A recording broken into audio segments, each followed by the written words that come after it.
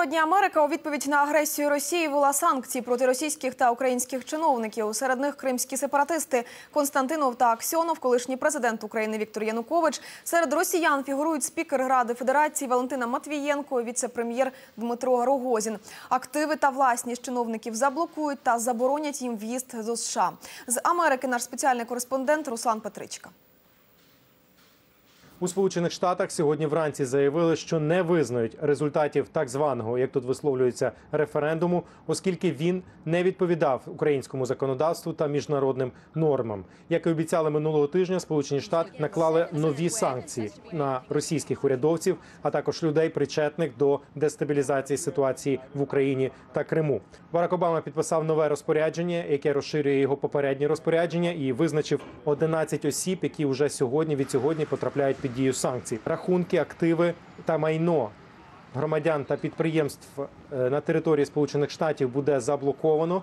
А всім е, іншим людям заборонено, які американцям або компаніям, які працюють з американськими компаніями, буде заборонено співпрацювати з цими громадянами чи підприємцями, і також буде заборонено допомагати їм е, забрати це майно з банків чи рахунки з банків. З української сторони визначено чотири особи. Вже відомо чотири прізвища, на яких накладено санкції. Це Сергій Аксьонов, Володимир Константінов, Віктор Янукович та Віктор Медведчук. Саме Медведчука називають головним архітектором ситуації, яка відбулася в Криму, та ідеологом, який був найбільш активним е, пропагандистом, е, який виступав за відділення Криму.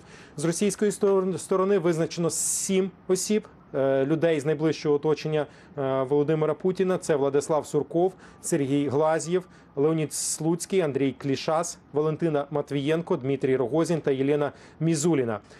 На самого Путіна Сполучені Штати санкції поки що не накладали. А як але пояснили у державному департаменті, е, його найближче оточення відчує на собі дію цих санкцій, і буде і на це вплине обов'язково на Путіна.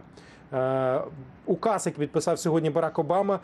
Як сказали у державному департаменті, може бути легко розширений. До нього можуть бути додані е, нові прізвища, а також е, назви компаній, якщо буде потреба. Сьогоднішні дії слугують нагадуванням Росії про те, що якщо вона не виконає своїх міжнародних зобов'язань, не поверне військових місця своєї дислокації і не поважатиме суверенітет і територіальну цілісність України, то США готові вжити додаткових кроків.